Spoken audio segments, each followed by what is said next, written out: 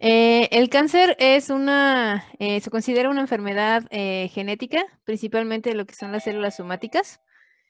es una enfermedad muy compleja. No es, ahora sí que no es sencilla, no, no, ahora sí que no tiene solo una, una causa. los componentes genéticos del, ahora sí que las modificaciones genéticas que tienen las células cancerosas son muy heterogéneas. Vamos a tener diferentes eh, en este caso modificaciones eh, genéticas, y eso lo hace eh, una enfermedad muy, muy compleja. el cáncer más que nada se desarrolla debido, o lo que se tiene ya identificado, es que es debido a una acumulación precisamente de alteraciones moleculares en el genoma de la, de la, célula. Es decir, se van a ir acumulando mutaciones, mutaciones que van a alterar la secuencia y ah, en, ahora sí que dependiendo del número de, mutaciones que se vayan acumulando, pues incluso puede alterar la, estructura de los, de los cromosomas. También vamos a tener alteraciones eh, cromosómicas en las células de, cáncer. Eh, estas alteraciones eh, moleculares pueden ser adquiridas es decir, a lo largo de nuestra, de nuestra vida podemos ir adquiriendo eh, mutaciones, ese tipo de alteraciones eh, moleculares que pueden llevar a un, ahora sí que pueden llegar en un, en un futuro a ocasionar eh, cáncer. Y la otra es que son heredadas. Algunas de estas alteraciones moleculares son heredadas. Nos las ahora sí que nos las transmitieron nuestros, nuestros padres y nosotros las podemos transmitir a la siguiente, a la siguiente generación. Entonces, el cáncer sí es, eh, se considera una enfermedad eh, genética debido a que la, causa que se tiene determinada, pues es esa acumulación de alteraciones en el, en el genoma de la, de la célula. Se van a dar un cierto número de mutaciones en el, en el genoma de la, de la célula y eso va a ocasionar en un futuro el desarrollo o la aparición de, cáncer. Eh, el primer paso es la, ahora sí que la generación de una neoplasia, que la neoplasia no es más que una acumulación anormal de, células. Es decir, las células empiezan a proliferar sin, sin control y se da un, crecimiento, se va a generar una masa, una masa de, tejido eh, que se denomina tumor.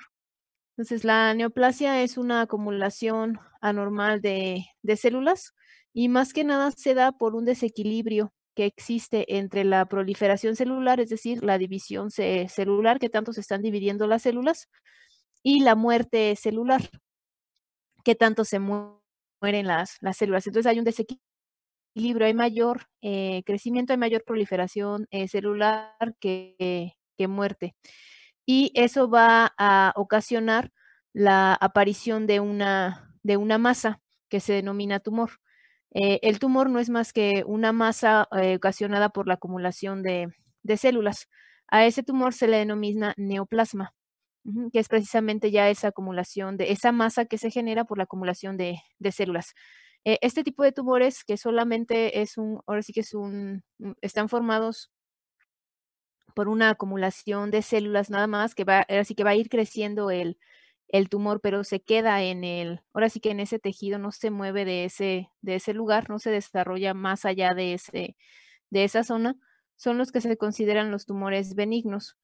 Esos no, no se consideran eh, cáncer porque no tienen la capacidad de invadir, es decir, de moverse del sitio e invadir y colonizar otros tejidos.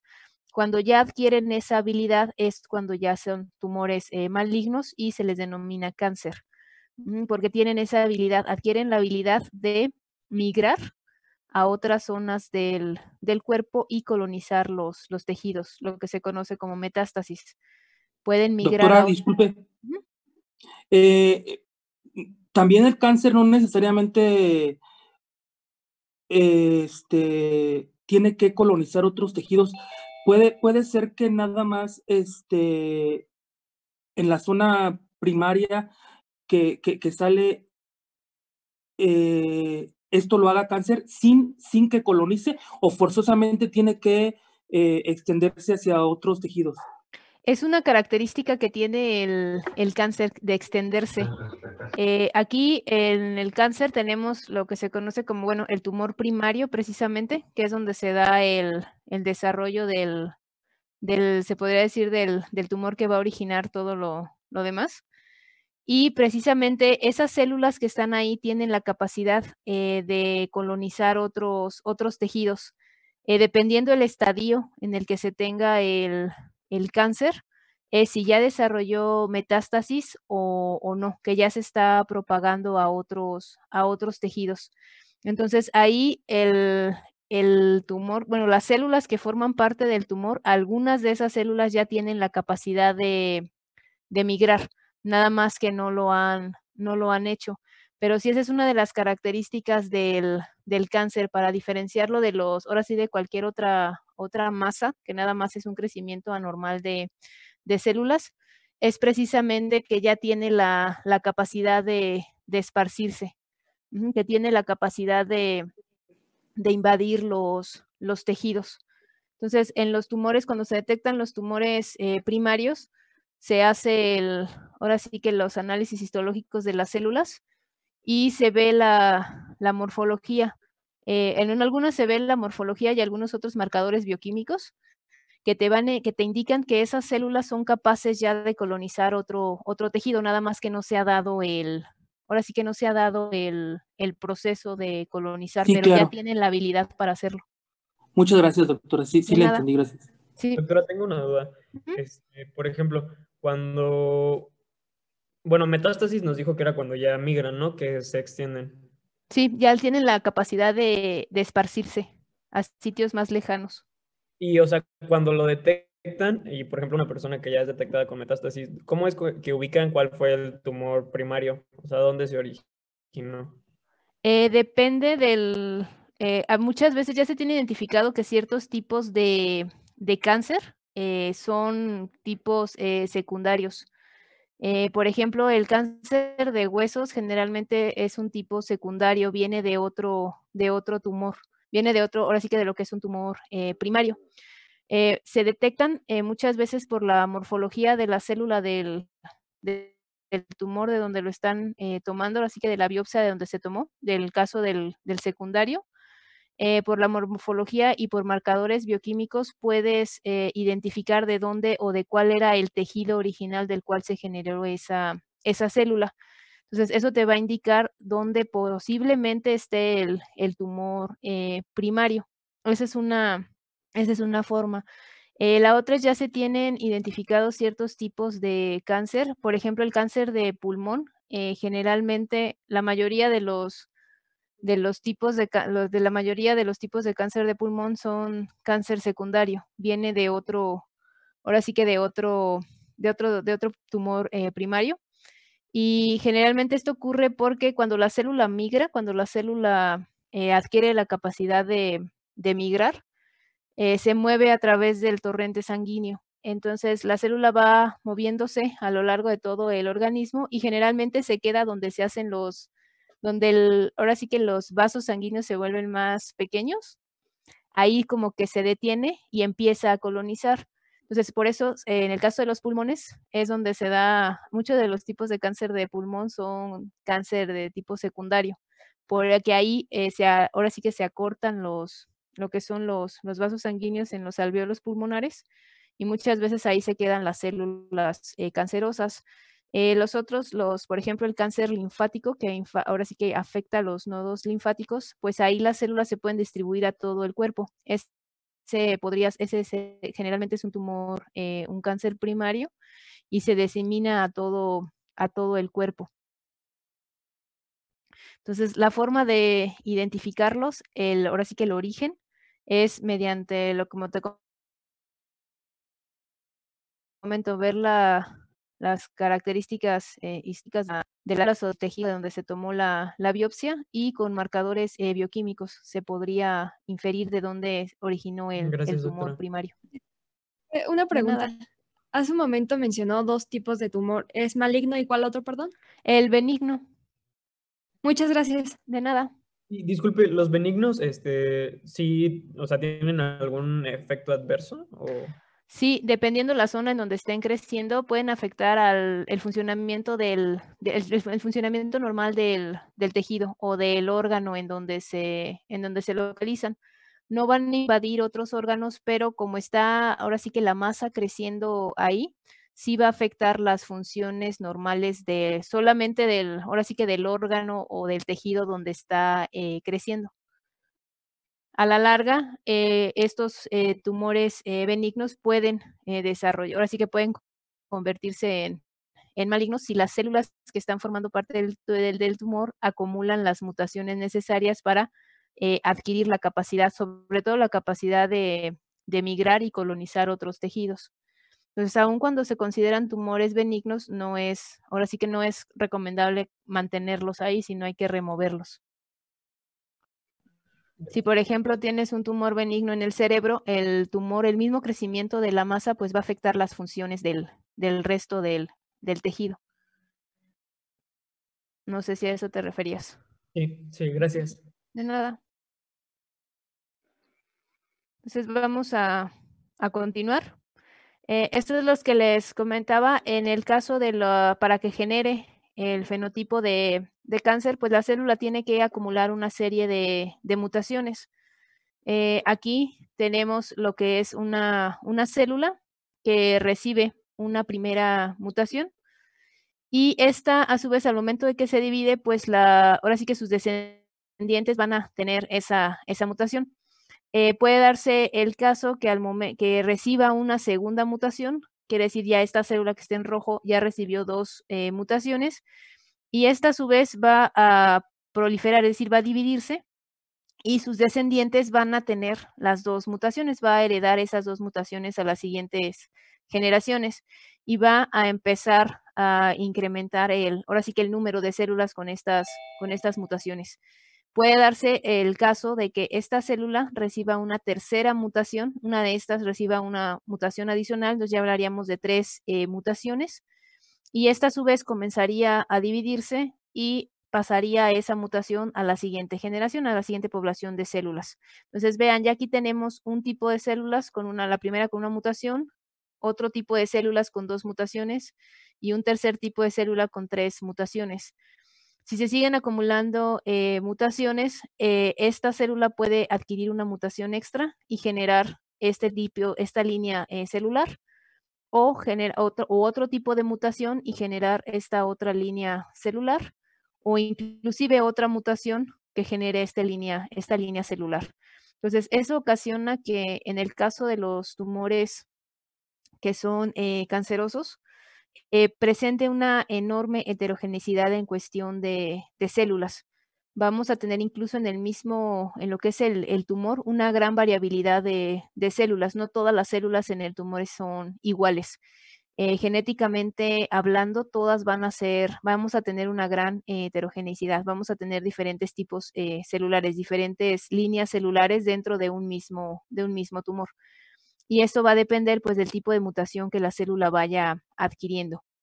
Eh, generalmente te lo vamos a, ver, estas de aquí son mutaciones que se dan ya durante el proceso del desarrollo del, tumor, pero estas de acá, las primeras eh, mutaciones son precisamente las que van a dar origen al, tumor, a la generación del, tumor. Eh, igual por selección natural, esas mutaciones se van a ir transmitiendo a la siguiente población de células, hasta desarrollar lo que es el, el, tumor como tal. Algunas de estas células van a adquirir la, la, habilidad de, ahora sí que de separarse del tumor y de migrar a otros tejidos y de colonizar el tejido a donde, a donde lleguen. Entonces, la, la cantidad de, ahora sí que de mutaciones eh, va a depender del tipo de, del tipo de tumor, del tipo de cáncer del que se trate y también del tipo de, de tejido que se está, ahora sí que se está modificando.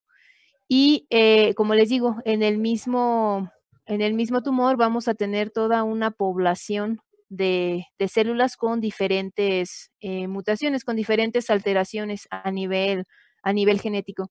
Por eso lo que les comentaba que es una, ahora sí que es una enfermedad bastante compleja debido a esta heterogeneidad que presentan las, las células. Incluso dentro del, del mismo, ahora sí que del mismo tumor vamos a tener diferentes eh, variedades de, diferentes líneas eh, celulares dentro del, del tumor.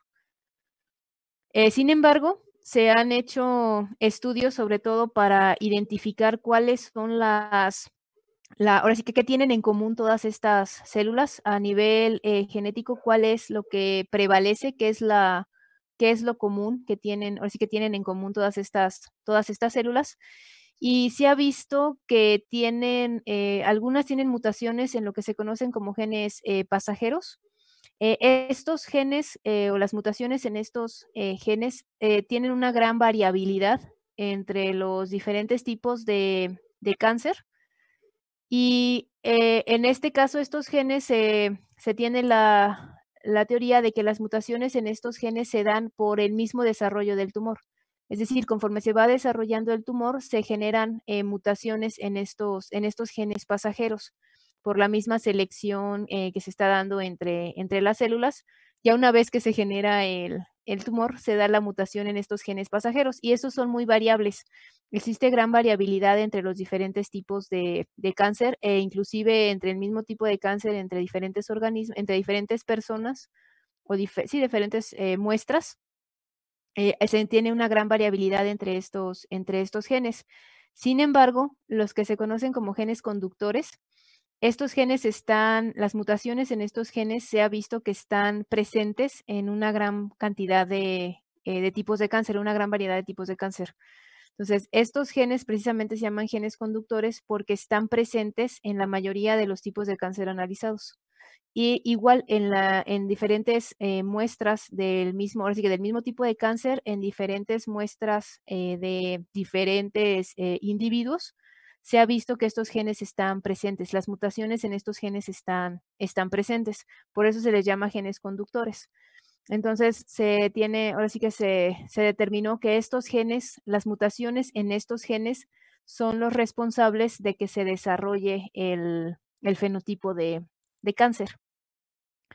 Eh, dentro de estos genes conductores, estos genes conductores se pueden dividir en dos grandes eh, clases o en dos, en dos grandes clases, lo que son los oncogenes y los genes supresores de, de tumores. Estos genes eh, se ha determinado que están implicados en el desarrollo del cáncer, estos genes conductores.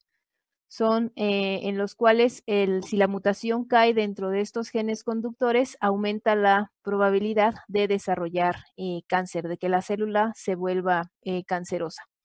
Y estos genes caen en dos categorías, lo que son los oncogenes y los genes supresores de tumores que son las dos eh, categorías de, los, de estos genes conductores que se han determinado, que están presentes en la mayoría de los tipos de, cáncer. Este, una pregunta. Sí. En lo, entonces, ¿lo que quiere decir que los genes pasajeros se pueden decir que están en los tumores benignos? Eh, también te pueden, pueden estar presentes en los tumores eh, benignos. aquí los genes pasajeros se dan más que nada al momento ya que se desarrolla el, cáncer, el, bueno, el fenotipo de cáncer. Eh, esos, se ha visto que esos genes pasajeros están mutados, pero hay una gran variabilidad entre los tipos de, cáncer. O sea, no son genes que están presentes en todos los tipos de, cáncer. Más bien, la mutación de esos genes no está presente en todos los tipos de, cáncer. Son mutaciones que se dan por, el, por la misma evolución del, del tumor, se podría decir, por la misma evolución de la enfermedad. Pero no son los responsables. ¿Por qué? Porque no están presentes en todos los tipos de cáncer. Ah, y los conductores son los que están sí o sí en todos. Sí, se ha encontrado que esos, esos genes están presentes, están mutados o están alterados de cierta forma en la mayoría de los tipos de, bueno, los tipos de cáncer que se han analizado. Ah, Por eso se les llama conductores. Entonces, de nada. doctora, la diferencia entre uno y otro es que unos están presentes en casi todos y otros solo en algunos. En algunos, ajá, las mutaciones. Mutaciones en esos genes están presentes solo en algunos tipos y en los conductores sí están en, la mayoría. Doctora, y este, las mutaciones en esos genes pasajeros, en los que sí están presentes en el fenotipo del cáncer, este, ¿afectan más o menos o su presencia es eh, irrelevante? No, eh, esos genes están relacionados con la adaptabilidad de la célula, de la célula eh, cancerosa, para darle otras características a la, a la célula. para ahora sí que adaptarla al, para que se adapte mejor esos genes pasajeros. Eh, no son los responsables de que se origine el, el tumor. Simplemente esas mutaciones le van a dar a la célula una mayor adaptación. Eh, lo que quiere decir Ajá. En, en, entonces, cuando, como poniendo un ejemplo, si, si hay un cáncer de, de seno eh, y normalmente eh, hace metástasis en los huesos, e, es, lo que comúnmente pasa. Entonces, esas células, eh, a la hora de, de, ver la histología de, las células, ¿se adaptan hacia el hueso o, o, va a haber células como este, específicamente de, seno en, el, en, en, donde debería haber células del hueso. En la cuestión histológica, las, las células de cáncer lo que hacen al momento de invadir otro tejido es se mimetizan con el tejido que van a, que van a invadir. Eh, esto para que las células, ahora sí que las células del tejido no se den cuenta que, la están, que las están invadiendo y la célula cancerosa se, se mimetiza, se adapta al nuevo, al nuevo tejido. Eh, sin embargo, la puede tener en este caso marcadores bioquímicos que indiquen su origen, porque eso va a tardar en, ahora sí que va a tardar en, desaparecer, incluso no, no desaparecen algunos eh, marcadores eh, bioquímicos. Ahí sí en la cuestión histológica de la, de la morfología, muchas veces la, la, célula cancerosa sí se, ahora sí que se mimetiza de tal forma que se asemeja a la del tejido que está colonizando. Pero ahí sí desconozco qué tanta similitud, ahora sí que qué tanto se transforma en la célula del, tejido que coloniza como para no poder eh, diferenciarla. Muchas gracias, doctora. De nada.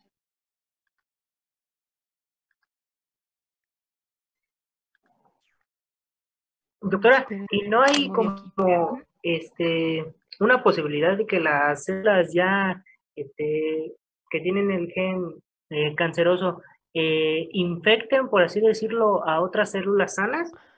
Eh, la misma, a otras células como que las infecten, pueden ocasionar que las células que están alrededor por medio de, ahora sí que mecanismos de, ahora sí que mandan señales, señales extracelulares, eh, pueden ocasionar que las células que estén alrededor eh, muten, pueden ocasionarle mutaciones a las células eh, alrededor, a lo que está circundando el, tumor.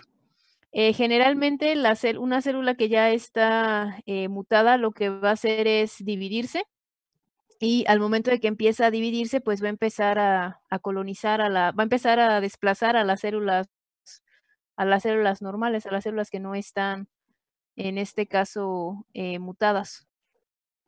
Pero que las infecte solamente eh, puede cambiar los patrones de, ahora sí que sus patrones de comportamiento en las, en las células de cómo se, más que nada la parte de las, de su metabolismo, por las señales extracelulares que estén arrojando las células eh, cancerosas. Sí se puede ver afectada su, su función metabólica, por ejemplo. Ah, ok, perfecto, doctora, gracias. Nada. Si es que existe comunicación celular. Entonces, eh, en el caso, esto es lo que les comentaba de las mutaciones, en lo que son los, los genes, eh, esos son los genes conductores, lo que, caen en dos categorías, lo que son los oncogenes y los, y los genes eh, supresores de tumores. Eh, estas mutaciones, en el caso de los oncogenes, eh, la mutación que se ocasiona va a ocasionar una ganancia de función, es decir, el gen va a tener una ganancia de, función al momento que recibe la, mutación y únicamente es necesaria una, ahora sí que una mutación para que se, ahora sí que para que aumente las, las probabilidades de que se dé el desarrollo del fenotipo de, de cáncer. Eh, en el caso de los de nuestros genes, por ejemplo, tenemos nosotros dos copias, dos copias de cada, de cada gen. Eh, aquí las, eh, lo que se le conoce como alelos son las formas alternativas de cada uno de nuestros genes. Es decir, vamos a tener dos formas alternativas de cada, de cada gen, uno que viene de nuestro papá y otro que viene de nuestra madre. Entonces, aquí lo que sucede en el caso de los oncogenes, un solo evento de mutación, es decir, con que se mute un, un solo alelo, cuando se muta un solo alelo, eh, es capaz de que se lleve a cabo la, la mutación. Se lleva a cabo la, eh, se lleva a cabo la mutación, perdón, y con un solo alelo que esté, que esté mutado, con un solo alelo que esté, que esté mutado, es necesario para aumentar la probabilidad de que se dé el desarrollo de la, de la enfermedad, que en este caso aparezca el, el fenotipo de, de cáncer. Eh, en el caso, eh, a eso se refiere con que es dominante, eh, es activa, es dominante. Quiere decir que con una sola, con un solo alelo que se, que se modifique, el otro alelo no es capaz de suplir la, la función y por, por, lo tanto se va a desarrollar la, aumenta las probabilidades de que se desarrolle la, la enfermedad, en este caso el fenotipo de cáncer. En el caso de los genes supresores de tumores, aquí implica, al momento en que se da la, la mutación, implica una pérdida de la función. Es decir, estos genes van a dejar de funcionar. Y para que se pierda completamente la función, pues se requiere que los dos alelos estén mutados, las dos copias de ese gen estén, estén mutadas o estén alteradas. Entonces, aquí un evento no va a ocasionar el, ahora sí que no va a, ocasionar el, fenotipo de, cáncer, no va ahora sí que a comenzarlo, pero sí aumenta las probabilidades de que si se sufre otra mutación en el otro alelo, se dé la, alteración. Entonces, esa es la diferencia entre los oncogenes y los genes eh, supresores de, tumores. Ahorita vamos a ver eh, qué funciones realizan estos, estos, estos genes. Se tiene un proyecto a nivel eh, mundial que se denomina, eh, lo que se trata con este, de obtener con este proyecto es precisamente generar el atlas del genoma del cáncer.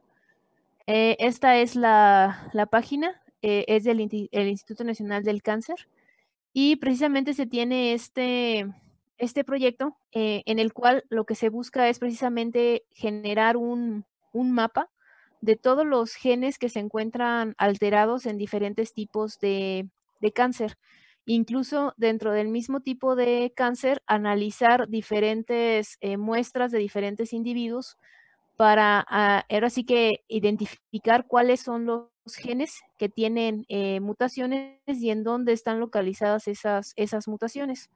Entonces ustedes pueden acceder a esta, a esta página y ahí hay información sobre diferentes tipos de, de cáncer, las características de cada, ahora sí que de cada tipo de cáncer y lo que se busca precisamente con esta iniciativa, pues es mapear, ahora sí que tener todo un mapa de los genes que están eh, afectados en los diferentes tipos de cáncer. Esto con la finalidad de desarrollar eh, alternativas, sobre todo de tratamiento y también de, prevención.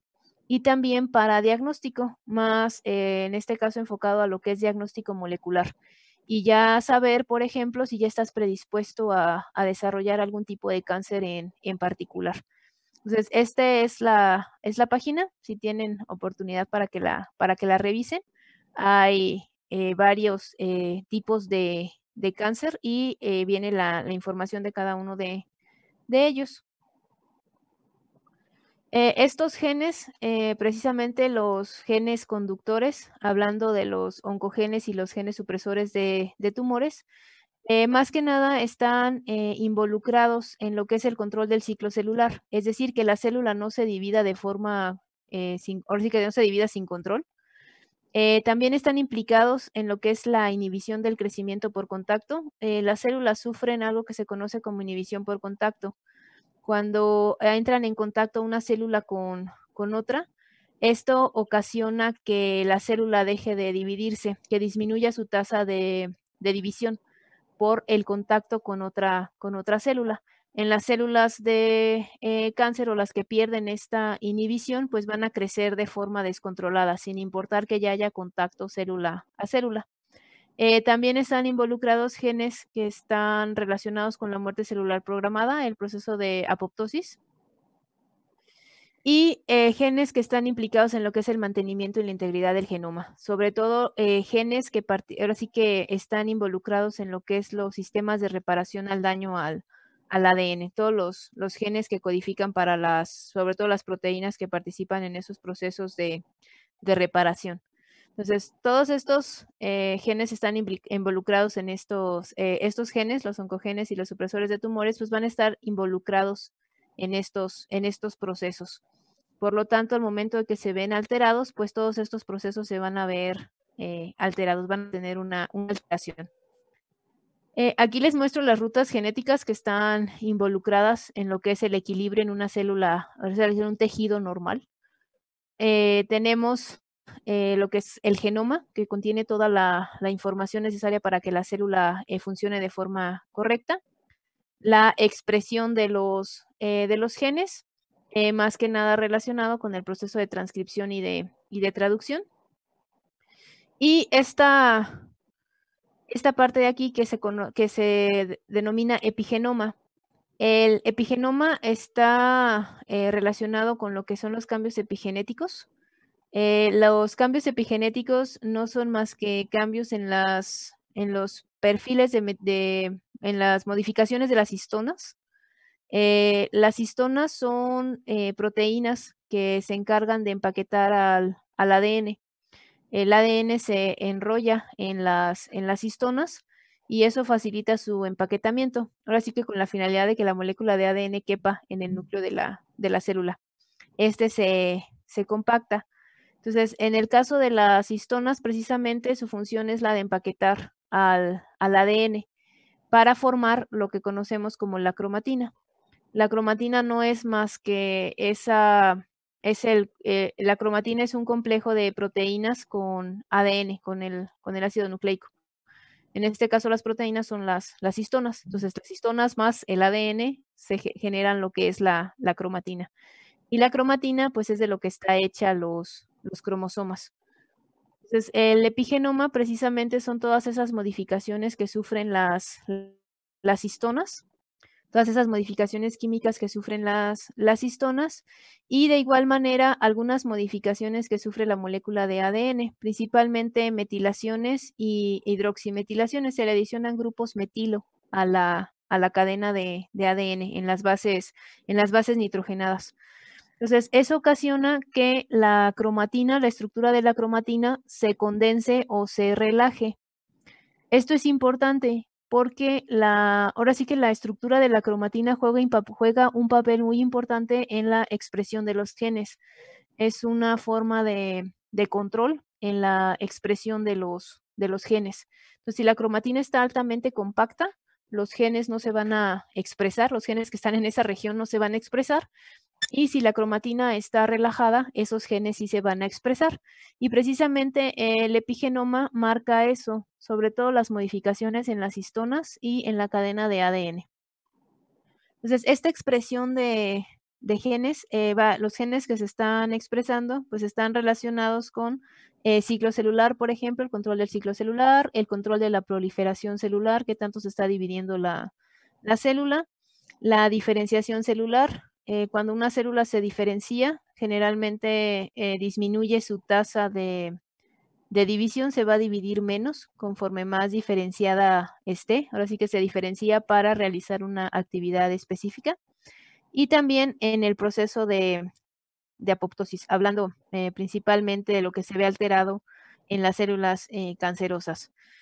Eh, aquí tenemos pues las enzimas que modifican al, ADN, que participan precisamente en estas reacciones, las proteínas de reparación al, ADN, que esto nos va a mantener el genoma estable y que también los cromosomas se puedan segregar de forma, de forma correcta a cada una de las, de las células.